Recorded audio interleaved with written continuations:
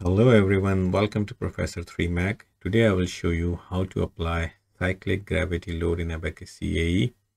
You can use the same technique to apply on a fixed object or could it could be for a free object inside a compartment and you can see the effect of this variation in gravity on that material or structure.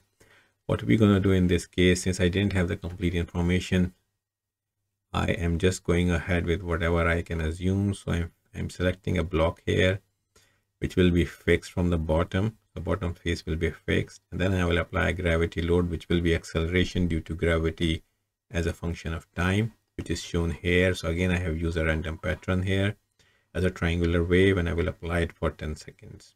So there could be a very vast range of applications there. I'm just showing you in a general way how to apply gravity load, which is a cyclic gravity load in Abaqus CAE. So see you on the other side. Okay, let's get going. I will first create a part. And in this case, as I mentioned, I will create a 3D deformable solid extruded cube. So that's what I'm doing here now. I will select the rectangle command and now I'm creating as you see the rectangle in a sketch module let's make it one by one. So it will be a square of one by one and now I will extrude it in the other direction and I will give again a value of one. And again I'm just making an arbitrary big structure so I am making everything in meters here. So it's a one by one by one meter cube now I go to the properties. Again the property wise I can define any material properties since I'm not interested in going into the details of the material. So what I'm going to do is I'm going to select the elastic material and for that I'm going to use steel properties. So let's first define the elastic card and also we need to define you might have to define the density if we are going for explicit analysis for example in any way so let's define the density. Again i'm using the density of steel which is around 7 um, 7850 you can use tons per meter millimeters cube as well but in this case i'm going to use 7850 then for elastic constants i'm going to use 210 gigapascals. So in this case again everything is in meters so it should be 210 exponent 9 pascals and 0.33 as Poisson's ratio. So now I have created the material properties called material 1. I will now create a solid section and this is just to ensure that Abaqus knows what this cube is made up of. So we're going to create a solid section as you see and then we will assign this section to Abaqus uh, model which is a cube in this case.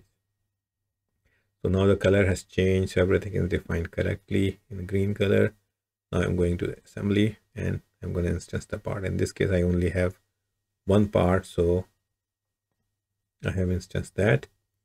And you can see how it looks like. All right now i go to the step module and i have to define the step. In this case since we are doing the gravity analysis so we can either do explicit dynamic analysis if we have no fixed objects and we have rigid body motions. But in this case since i am fixing the bottom face I'm going to go with the static general step. Overall process will remain the same, how to define the gravity as a function of time. So as you remember, the total time of the simulation was 10 seconds. So that's what I'm doing, giving here. Let me see if I can find Excel. Yep. So in, you, in this, you see, I showed you this wave pattern and it was, so it is supposed to be applied for 10 seconds and hence I'm using the total time period of 10 seconds for the simulation.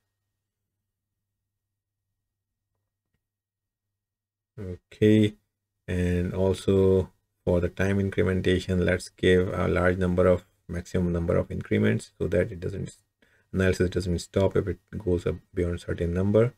And also for the increment size minimum and maximum i'm specifying 0.1 because i want certain number of outputs throughout. And also i want to capture how many points i am going to capture in the wave because if we use very less number of points then uh, we may not get reasonable distribution. So we need to capture as many points on the wave as possible. And I think 0.1 will ensure in this case.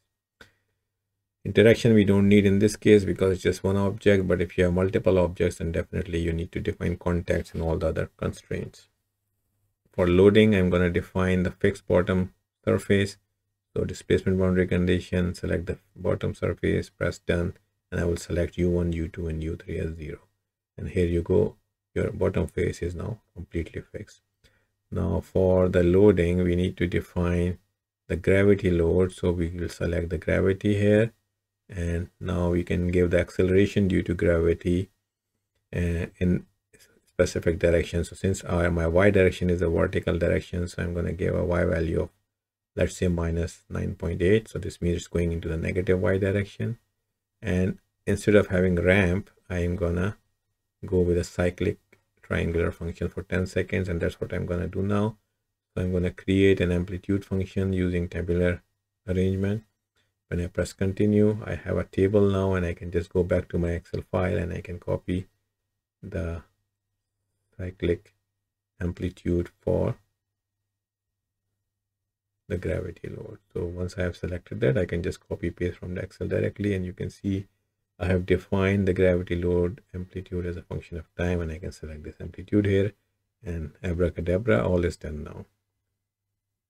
For gravity load to be cyclic in nature. So once we have done that we can now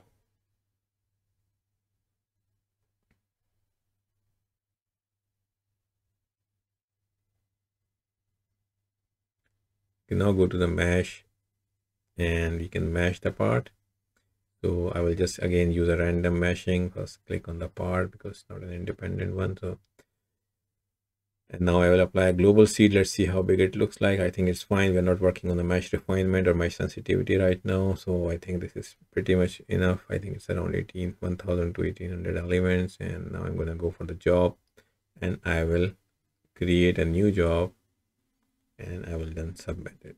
So that's what I'm going to do. I'm just going to call it gravity cyclic and let's press continue. We have now a job. And we now submit the job. And then we can monitor if everything is going fine. So here you go. And now my job is working fine. It has processed the input parameters. So everything is defined correctly. We have no warnings or errors until now. Now Abaqus has started to solve by saying started Abaqus standard. And you can see it's going pretty quick. It's all elastic linear elastic and everything is fixed. It should be straightforward. Only thing we are trying to capture here is the cyclic variation of gravity load and how the stresses and other things vary vary. You see it's going very well and it's still running and now it's finished in a few minutes so now let's go and see the results so dismiss this and if I press results, it will take me to visualization module where I can post process the data. So you see how the stresses look like and they are in the, at the final point, they look something like this. While if I plot a video or animation, then you should be see the time variation. So you see how the wave, stress wave is traveling due to the variation of gravity and the cycle as a function of time. You can speed it up you can slow it down you can also play once rather than going in loop so that's what i'm doing now and you can see it goes pretty slow and it will stop at the very last minute. So you see the stress wave is traveling go around and this shows the gravity load is working fine. So this way you can really apply the gravity load as a function of time. And you can also see by hand or manually how the stresses are increasing and decreasing. So you see it increases and then after one second it will start to decrease again. So you see it's decreasing again. So this is how so you can see everything is working fine. You just applied the gravity load for the, on the whole model rather than rather than forces or pressures at certain points and surfaces. And you are able to capture how the stress waves are really traveling through your material. So you, you can have a wide application on these kind of simulation using for example you're traveling in space you are on planet earth and you are again having variation in gravity due to the velocities and motions inertia so you can really do all those kind of simulations using this technique.